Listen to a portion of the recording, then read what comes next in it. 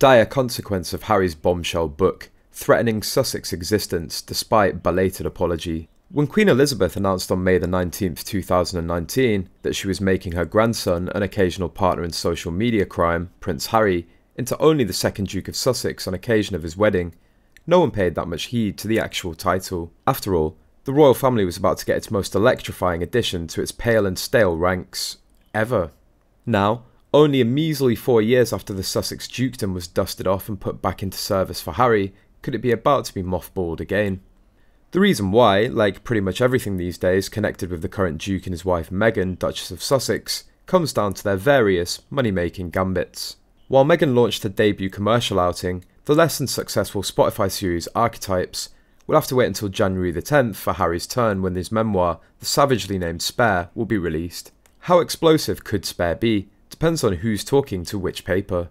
Everyone is bracing themselves for yet another fraught and frantic period at the mercy of the Sussexes. The same source claimed the book could spell the end for any relationship Harry wants to have with his family. It's desperately sad. It's very unlikely that Prince Harry and Meghan Markle will lose access to their Duke and Duchess of Sussex titles, as speculation swirls around continued connections between the US based royals and the firm ahead of the release. The removal of Prince Harry's dukedom could be King Charles III's final ace card up his sleeve, depending on the contents of the tell-all memoir that will hit the shelves next year. Charles is not going to stand back and let the family or the institution or reputation of the crown, which is everything to him, be tarnished or indeed trashed.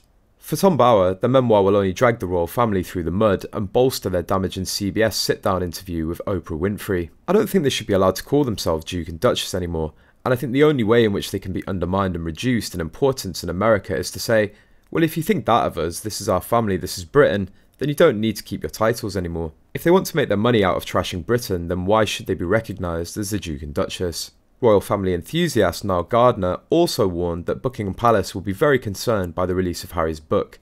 There is a lot of nervousness surrounding it. He claimed that the memoir could do a great deal of damage and have a catastrophic impact on the couple's standing, warning that Harry and Meghan will be cast into the wilderness and lose their royal titles. If Harry goes scorched earth with Spare, could he leave his father with no choice? King Charles III is apparently set to make changes to the law preventing non-working royals being counsellors of state. Under new plans, Prince Andrew, Prince Harry and Princess Beatrice would all become ineligible to stand in for the monarch, with a change up to the 1937 Regency Act outlined by the King. However, Dr Bob Morris has suggested it's unlikely that the Duke and Duchess of Sussex will lose access to their titles. Harry can be deprived of his title only by an Act of Parliament. At present, it seems very unlikely that Parliament itself will wish to take any initiative, and it would be for King Charles and the government in practice to determine the matter. Depending on what is said, perhaps it will be a case where behaviour that may amount only to bad taste is best ignored and not merit the attention of a statutory deprivation.